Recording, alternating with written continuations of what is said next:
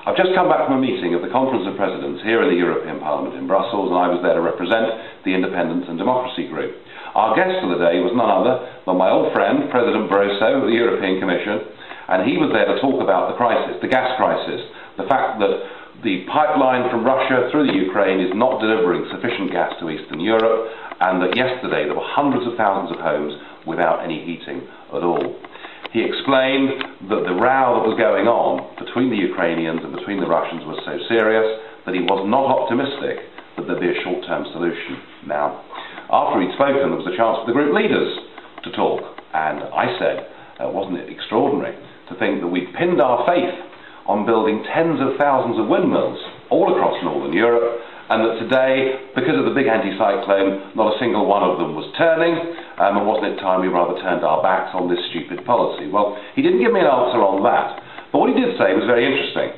He said that he'd asked yesterday the governments of Europe how big their stockpiles of gas and oil were, because we would need, through European solidarity, to help the Eastern European countries who hadn't got supplies. He said he was disappointed that he hadn't had many answers back from national governments. He said this showed the need why we have to have a common energy policy, and remember, that common energy policy is part of the Lisbon Treaty. He said we have to ensure that we can pull stocks together in a crisis so that we can help out people who are struggling. He called for the mutualisation of energy stocks. Now that's effectively the same as EU nationalisation of energy stocks, and what it means for Britain is, of course, in an emergency, North Sea oil and gas could be taken to be a common European resource. Well, perhaps we shouldn't be so surprised,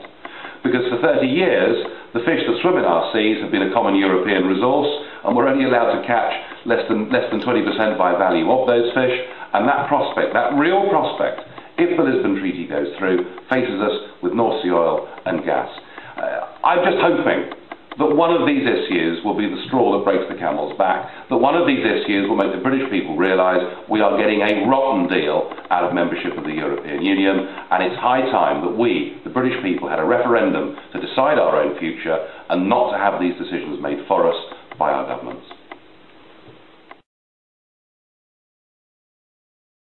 To find out more about who we are and what we stand for, go to the UK Independence Party website at www.ukip.org.